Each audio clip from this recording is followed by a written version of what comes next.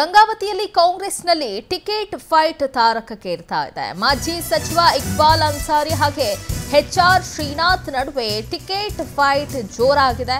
ಟಿಕೆಟ್ಗಾಗಿ ರಾಜ್ಯ ಉಸ್ತುವಾರಿಗೆ ಪತ್ರವನ್ನ ಮಾಜಿ ಎಂಎಲ್ಸಿ ಶ್ರೀನಾಥ್ ಅವರು ಬರೆದಿದ್ದಾರೆ.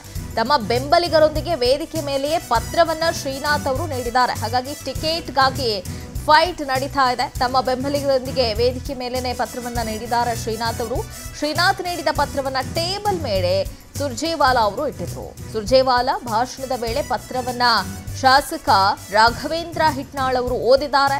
ಲೆಟರ್ ಓದಿದಕ್ಕೆ ಎಚ್ ಆರ್ ಶ್ರೀನಾಥ್ ಅವರು ಗರಂ ಆಗಿದ್ದಾರೆ. ರಾಘವೇಂದ್ರ ಹಿಟ್ನಾಳ್ ವಿರುದ್ಧ ಎಚ್ ಆರ್ ಶ್ರೀನಾಥ್ ಅವರು ಆಕ್ರೋಶವನ್ನ ಹೊರಹಾಕಿದ್ದಾರೆ. ಕೊಪ್ಪಳದಲ್ಲಿ ಟಿಕೆಟ್ಗಾಗಿ ಫೈಟ್ ಒಂದ್ ಕಡೆ ತಾರಕಕ್ಕೇರ್ತಾ ಇದೆ. ಕಾಂಗ್ರೆಸ್ನಲ್ಲಿ ಮಾಜಿ ಸಚಿವ ಇಕ್ಬಾಲ್ ಅನ್ಸಾರಿ ಹಾಗೆ ಎಚ್ ಆರ್ ಶ್ರೀನಾಥ್ ನಡುವೆ ನಡೀತಾ ಇರುವಂತಹ ಟಿಕೆಟ್ ಫೈಟ್ ಇದು. ಏನು ತಮ್ಮ ಬೆಂಬಲಿಗರೊಂದಿಗೆ ವೇದಿಕೆ ಮೇಲೆಯೇ ಪತ್ರವನ್ನ ಶ್ರೀನಾಥ್ ಅವರು ಸುರ್ಜೇವಾಲಾ ಅವರಿಗೆ ಕೊಟ್ಟಿದ್ದಾರೆ. ಆದರೆ ಸುರ್ಜೇವಾಲಾ ಅವರು ಅಲ್ಲೇ ಟೇಬಲ್ ಮೇಲೆ ಇಟ್ಟಿದ್ರು. ಸುರ್ಜೇವಾಲಾ ಅವರು ಭಾಷಣ ಮಾಡ್ತಾ ಇರ್ತಾರೆ. ಈ ಸಂದರ್ಭದಲ್ಲಿ ಶಾಸಕ ರಾಘವೇಂದ್ರ ಹಿಟ್ನಾಳ ಪತ್ರವನ್ನ ಓದಿದ್ದಾರೆ. ಹೀಗಾಗಿ ಹಿಟ್ನಾಳ್ ವಿರುದ್ಧ ಎಚ್ ಆರ್ ಶ್ರೀನಾಥ್ ಅವರು ಆಕ್ರೋಶವನ್ನ ವ್ಯಕ್ತಪಡಿಸಿದ್ದಾರೆ. ಲೆಟರ್ ಓದಿದಕ್ಕೆ ಎಚ್ ಆರ್ ಶ್ರೀನಾಥ್ ಅವರು ಗರಂ ಆಗಿದ್ದಾರೆ. ಈಗ ಈ ಟಿಕೆಟ್ ಫೈಟ್ ಏನಿದೆ? ಇದನ್ನ ಕಾಂಗ್ರೆಸ್ನ ಹೈಕಮಾಂಡ್ ಯಾವ ರೀತಿ ಒಂದು ಶಮನ ಮಾಡುತ್ತೆ ಅನ್ನೋದನ್ನು ಕೂಡ ಗಮನಿಸಬೇಕು. ಸದ್ಯಕ್ಕೆ ಅಂತೂ ಟಿಕೆಟ್ ಫೈಟ್ ಅಂತೂ ಗಂಗಾವತಿಯಲ್ಲಿ ತಾರಕಕ್ಕೇರಿದೆ.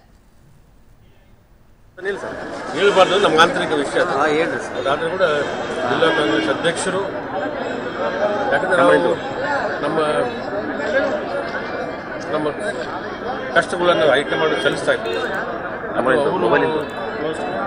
ಕ್ಲೋಸ್ ಕವರನ್ನು ಹರಿದು ರಾಘವೇಂದ್ರ ಓದೋದು ಅದು ನಮ್ಮ ಸಂಸ್ಕೃತಿ ಕಾಂಗ್ರೆಸ್ ಸಂಸ್ಕೃತಿ ಅಲ್ಲ ಅದು ಹೈಕಮಾಂಡ್ ಹೈಕಮಾಂಡ್ ಗಮನಕ್ಕೆ ಅಲ್ಲ ಸರ್ ರಾಘವೇಂದ್ರ ಇಟ್ನಾಳ್ ಅವರು ಓದಿದ್ರ ರಾಘವೇಂದ್ರ ತಂಗಡಿ ಈ ಪದ್ಧತಿ ಅವರೇ. ಮೊದಲು ಅದು ಕಳುವಂದಿ ಆದ ಎದಕ್ಕೆ ಓದಬೇಕು? ಹೈಕಮಾಂಡ್ ಕಾರ್ಯಕರ್ತರು ತಮ್ಮ ಅಭಿಪ್ರಾಯಗಳು ತಮ್ಮ ನೋವುಗಳನ್ನು ಸಲ್ಲಿಸ್ತಾ ಇರ್ತಾರೆ ಅವರು ಮುಕ್ತವಾಗಿ ಅದನ್ನು ಹರಿದು ಅದು ನನಗೆ ಬೇಜಾರಾಯಿತು. ಅದು ಬಹಿರಂಗವಾಗಿ ನಾನು ಹೈಕಮಾಂಡ್ ಮಾಡಿ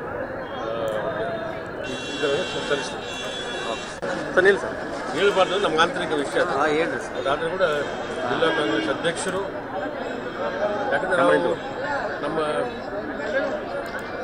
ನಮ್ಮ ಕಷ್ಟಗಳನ್ನು ಆಯ್ಕೆ ಮಾಡಿ ಸಲ್ಲಿಸ್ತಾ ಇದ್ದೀವಿ